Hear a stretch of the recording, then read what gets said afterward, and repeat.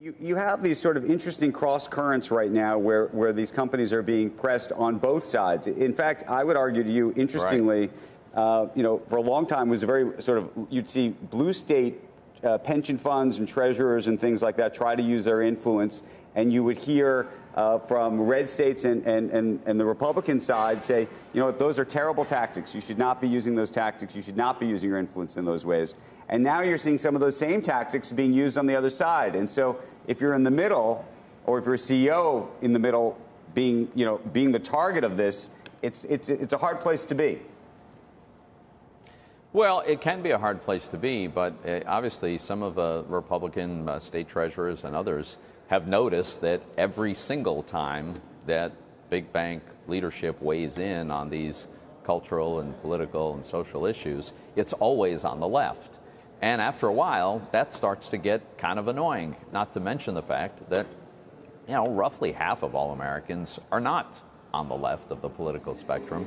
Um, so, look, my, my advice is just stay in your lane. I mean, we, we have democratic processes for addressing and trying to resolve as best we can. And, and yeah, it can be sloppy and it's not, not usually elegant, but that's how we resolve these issues. Um, the idea of having a handful of uh, senior executives somewhere make these decisions for the rest of Americans certainly undemocratic and uh, probably in the long run not great for business because at some point, um, you know, they'll they'll end up being treated like a public utility if they go too far down this road. Senator Toomey, I, I, know what you're talking about with some of these decisions. I, I, don't know that the bank CEOs have been front and center for a lot of this. The bank CEOs have gotten pressured to do things like um, get rid of any overdraft fees, make sure that they are, are lending to well, people who might not have qualified in the past. I, I, don't know that that's woke politics as much as, look, some of them think it, it has made sense. You've had yeah. Fraser at Citi say it's good sense for their business. You've had Moynihan say that at Bank of America, that they're doing some of these things because it actually does jive with their customers and it helps their business yeah. from the bottom line. I don't think a lot of these CEOs have been front and center, and I think Jamie Dimon has spoken out pretty vociferously. I'm not talking about those things. I'm talking yeah. about when they decide they're going to weigh in on the merits of the Georgia election law, or they're going to weigh in on whether abortion should be readily available. But I don't and, think the bank CEOs have weighed in as much on a lot of those issues. Oh, ab- oh, absolutely, they have. They absolutely have. Many of them, not all of them, but many of them have, and they've put out statements in. You know, and, and they are they're the CEOs and chairmen uh, at the time they've done that. But Many of them have weighed in on those kinds of issues that are clearly have nothing to do with their core business. No, your point about having a debate about uh, you know, uh, overdraft fees, okay, yeah, that's a business decision that you got to right. make. I think it's actually kind of ridiculous if, if there's an overdraft, that's an extension of credit, and of course there's going right. to there's going to be a fee attached one way or another. But, but Senator, that's Senator, different.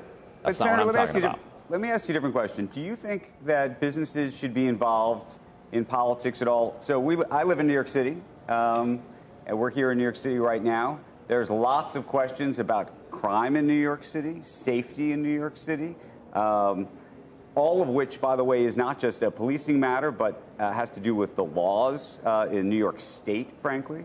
Yeah. And the question is, should business leaders decide because they think it's it's good for their business or their employees have a position which is that they care about their safety, that they should speak out on those issues? And how does that differ from employees calling up their leaders at their businesses saying, you know what, this voting issue to me is actually something that's very, very important if I'm going to actually live in this state and work at your company?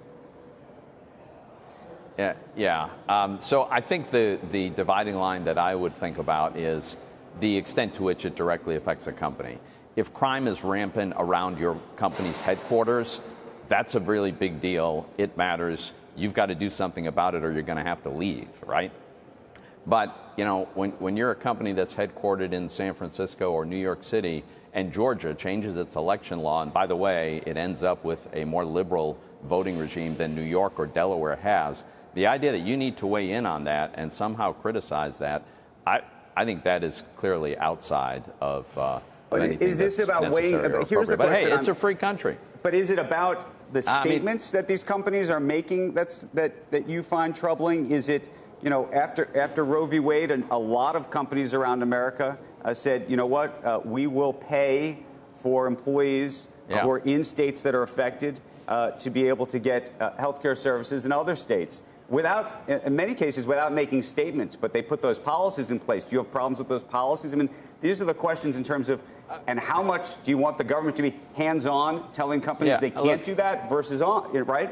No, no, you know, I'm not. I'm not introducing legislation, Andrew, to forbid this. This is, they are private entities. They have their own governance. They can decide what to do. I'm simply uh, suggesting that they ought to be really careful here.